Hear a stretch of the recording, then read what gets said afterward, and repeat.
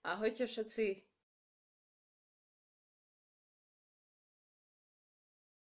Často dostávam otázky, aké konkrétne cerusky alebo aký uhlík používam, na aký výkres kreslím.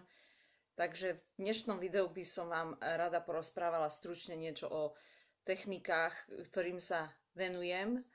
Nie je ich málo, a z každej z týchto techník by som vám rada odporúčala nejaký, nejakú konkrétnu značku e, výtvarných potrieb alebo cerúziek, uhlíkov, e, ktoré používam a s ktorými som e, veľmi spokojná.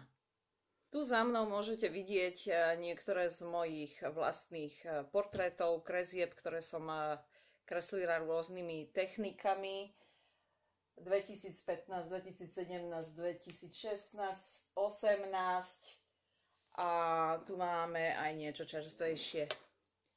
V tejto malej ukážke tu máme zastúpené akvarelové farebné cerusky. Toto je Joconda, klasické cerusky alebo grafit, znova akvarelové farebné cerusky. Toto je uhlík, a akvarelový grafit. A tuto za mnou je kresba uhlíkom. Na záver videa vám ešte ukážem nejaké, nejaké ďalšie zastúpenie mojich prác s olejovými farebnými cerúskami a klasickými farebnými cerúskami, pretože väčšinou sú to kresby, ktoré sú na objednávku a už e, odišli. Takže hneď úvodom by som začala uhlíkom. Kreslila som tento portrét prvýkrát značkou Nitram. Je to kanad, kanadská značka uhlíka, je to prírodný uhlík veľmi dobrej kvality. Naozaj sa s ním pracovalo veľmi dobre. Majú široký sortiment uhlíkov rôznej, uh, rôznej mekosti alebo tvrdosti. Ja tu mám B, H, HB. Tieto prírodné uhlíky majú rôzny tvar. Toto je napríklad klasický, klasický prírodný uhlík štvorcového prierezu. Dá sa zakúpiť aj takýto okrúhlý prierez, eh, hrubšie, hrubší prírodný uhlík, ale v ponuke majú rôzny ďalší sortiment. Ja som si zatiaľ zakúpila iba pár kusov, aby som vyskúšala, ako sa s nimi pracuje. A zatiaľ musím povedať, e, že som e, spokojná. Toto je brúsny papier, na ktorým e, sa môže uhlík brúsiť a teda zaostriť. Je to iba brúsny papier, k tomu existuje aj také drievko, vyzerá to ako gefa na vlasy. K tomuto uhlíku existujú aj rôzne nadstavce alebo držiaky, napríklad takýto držia, ktorý, ktorým si vlastne, tam si vložíte uhlík a máte potom od tej uh, kresby uh, väčší odstup. Takže, ako som spomenula, ponúkajú rôzne tvrdosti alebo mekosti. Výsledok uh, vyzerá veľmi pekne, realisticky, určite si o nich nájdete viac aj na internete. Ďalšia moja obľúbená značka, s ktorou rada pracujem, je značka Derwent. Od nich mám napríklad takéto akvarelové cerusky, akvarelový grafit, ktorým som robila aj e, tento portrét. Čiže v podstate akvarelový grafit sa ro- nakreslí, kresba sa nakreslí a môže sa roztierať, e, rozpíjať vodou, štecom. Čiže je tam určitý taký maliarský zásah do toho. Od značky Derwent mám aj tieto olejové pastelky Lightfast. Je ich tu 72 kusov.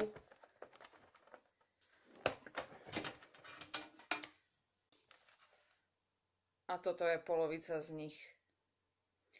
Na záver tohto videa vám ukážem aj nejakú ukážku, ako, ako môže vyzerať portrét kreslený takýmito olejovými e, farebnými ceruskami.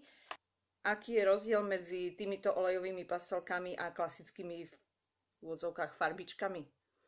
Tieto olejové pastelky sa riedia terpentínom, čiže ako názov napovedá, že sú olejové, je to taká novinka. V podstate tá kresba, podobne ako pri akvarelových farebných ceruskách, sa rozpíja štecom, čiže zasahujete do toho vodou. V tomto prípade je to terpentín, keďže sú na olejovej báze a ten portrét potom v závere môže vyzerať krásne realisticky. Čiže Derwent Light Fast. Rovno prejdem k farebným ceruskám klasickým, takisto na záver videa bude ukážka e, kresby takýmito ceruskami a značka, ktorú odporúčam je Faber-Castell. Toto je sada Polychromos, je ich tu 120. Značka, ktorá produkuje farebné pastelky už od roku 1761 a pochádza z Nemecka.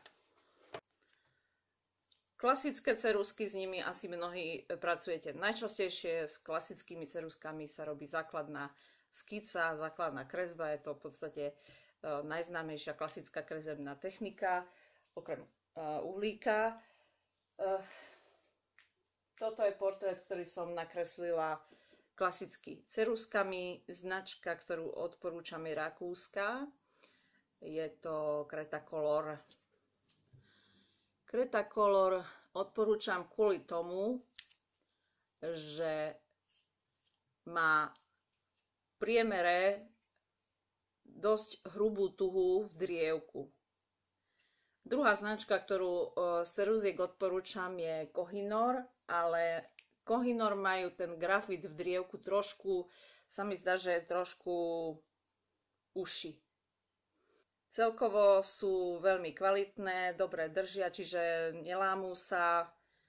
Taký malý tip, aby sa vám cerusky pri strúhaní len tak nelámali, určite to poznáte, že strúhate, strúhate a ceruska sa stále láme. To sa stáva pri tých mekších tuhách. Treba si dávať pozor na to, aby vám cerusky nespadli na zem, lebo ak už raz e, nejako nešťastne spadnú, môže sa tá tuha vo vnútri cerusky zlomiť. No, teraz e, prejdem k technike pastelu. Pastel číslo jedna značka u mňa je Mungio. Mám tu takúto, takýto kufrík, e, je tu sada 72 pastelov, takže vám ukážem, ako to vyzerá. Takže takto vyzerá sada 72 pastelov od značky Mungio.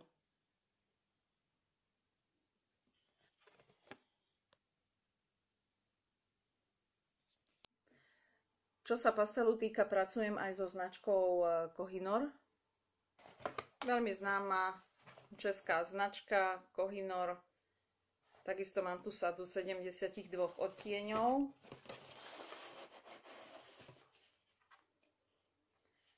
Prečo mám aj e, Kohinor, aj Mungio? Čím realistickejšiu kresbu pastelom chcete nakresliť, tým je lepšie, keď máte viac farebných odtieňov. Mungio má podľa môjho názoru prírodzenejšie, prírodne, prírodnejšie e, farby, aj tá konzistencia tej kriedy je iná než u Kohinoru. A kresba má inú sítosť. Kohinor ponúka aj takéto pastely v ceruske, takzvané Jokondy, 48 kusov tu mám, a čo bola tiež pre mňa istého času novinka, že e, si viete zakúpiť aj takýto pastel v klasickej ceruske, čo je výborné, ak chcete pracovať e, s detailom. Čiže takáto, takáto Joconda, takýto soft pastel od značky Kohinor. Keď pracujem s uhlíkom, e, používam aj takýto stlačený biely uhlík, Čiže keď kreslíte na farebný papier, e, krásne viete týmto bielým uhlíkom vytiahnuť tie svetlé miesta ako keby do popredia na povrch. Vyzerá to ako krieda. E, zloženie toho som neskúmala, pretože uhlík nemôže byť biely prirodzene. Ale kto vie, možno si to dokážete aj naštudovať aj sami. Čo sa vyrába prírodný biely uhlík. Pri práci s ceruskami sa dá používať aj takýto e, grafitový prášok. Skvelá vec, ale pozor na to, aby ste všetko nezaprášili. Tento prášok slúži na to, aby ste portrét dokázali trošku jemnejšie e, zapracovať, aby tam bolo vidieť menej, menej šráfov, alebo keď potrebujete zakresliť nejaké väčšie tmavé plochy. To je ohľadom kresebných techník, e, hádam všetko. Ešte nie, stop, ešte raz. Nemám tu teraz tú... A mám. No a posledná technika, ktorú e, takisto nechcem opomenúť, je kresba akvarelovými vodovými farebnými ceruskami, respektíve pastelkami. Je to značka znova Faber-Castell. Mám takúto sadu 36 vodových farbičiek. A je ich toľko to. S nimi vznikol e, tento portrét. Samozrejme je veľa značiek, čo sa týka týchto vodových farbných ceruziek. Dobrá značka je aj Creta e, Color alebo Derwent. Ja používam Faber-Castell. No a to je e, všetko, čo sa týka portrétov a techník, ktoré používam. Najčastejšie samozrejme technika ceruziek, tu si vyberáte najčastejšie. Obľúbená technika je aj technika farebnými ceruskami alebo olejovými farbičkami. Tak a na záver ukážky niektorých mojich portrétov, aby ste trošku mali predstavu o tom, ako tieto techniky v rámci portrétu vyzerajú. Ak sa vám toto video páčilo, samozrejme môžete odoberať tento kanál, pozrite si ostatné moje videá, kľudne mi píšte komentár, otázky, ak máte nejaké. A Ďakujem, že ste sledovali toto video a teším sa na budúce. Čaute všetci, ahojte. Začíname kresbou pastelom. Toto je pastel, niečo staršie. Pokračujeme technikou ceruziek a portrét farebnými ceruzkami. Portrét psíka. Nasleduje kresba ceruskami, čiže klasika grafit.